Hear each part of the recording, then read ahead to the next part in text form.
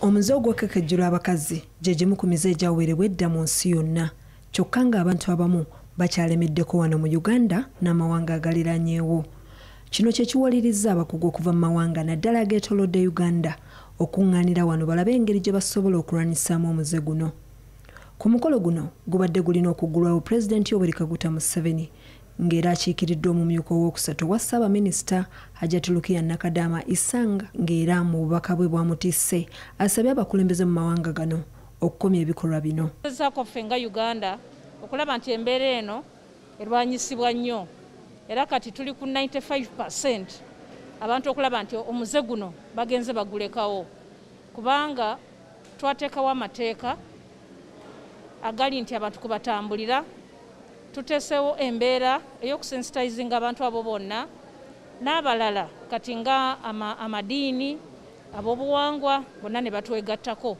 Okusinziira ku pulezidenti museveni abakulembeze mu mawanga agaliraanye uganda kyokka nga gakyalimu omuze guno gasaana okukolera wamu okulwanyisa.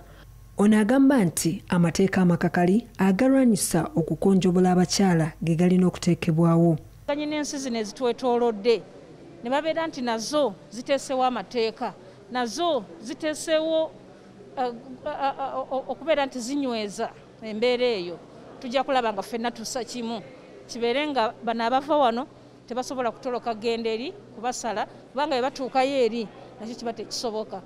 Minisita omubeezi ow'ekikula ky'abantu era nga yavunaanyizibwa ku by'obuwangwa peace mutuuzo agamba obuzibu buli ku nsalo y'amawanga kubanga buli omu asala nga bw'ayagala oluusi nga bayita mu ddiini owulira eri nga bayimba enyimba ez'eddiini aleluya aleluya n'olowooza nti basaba nnyo. Kumbe bali mu kukomara abaana bawala nga batya nti poliisi egenda bagwamu. Abalala ne baba nga babuuka booda ne bagenda e kenya. Oluusi ne babikolera mu ddwaliro oluusi ne babikolera mu bantu abamu be twakwata. Simon peter nangalo akulira ebyobuwangwa mu bakalamojja avumiridde enkola ey'okukopperera kubanga okukekecula abakyala si kya buwangwa bwabwe. It is very sad. We are really fighting against it because what is it? Why should you just copy because of a neighborhood relation? So we are fighting it hard. It's not so much spread in the entire Karamoja, it's mainly in Tepeth area, Kadam, and Pokot.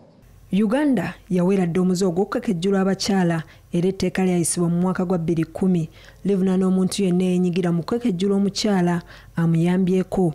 Amuguzizza obusala n'abo babaddewo nga bamukekejjula. Shamimu nateebwa ne timothy mukisa ku ractv enjoba egoloobye